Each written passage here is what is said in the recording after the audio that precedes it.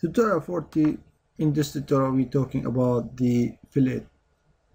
In the earlier tutorial we used the sketch fillet and here we have the other front fillet which is dealing with the 3D models or solid parts. So let's first hide these planes, select them, hide.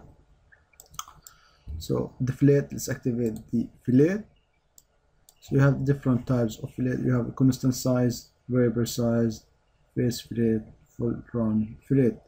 So in this tutorial we're going to talk about the constant size and the item to fillet and then you will have the radius of the fillet. So let's make a radius of 4 millimeter and there if you have you can conic or conic radius so it's kind manipulating the circular making more curvature curvature while using these I'm going to keep it with the circular.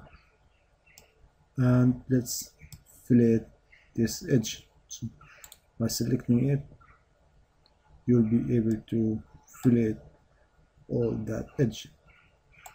You are done. Okay so let's try also make fillet for that edge.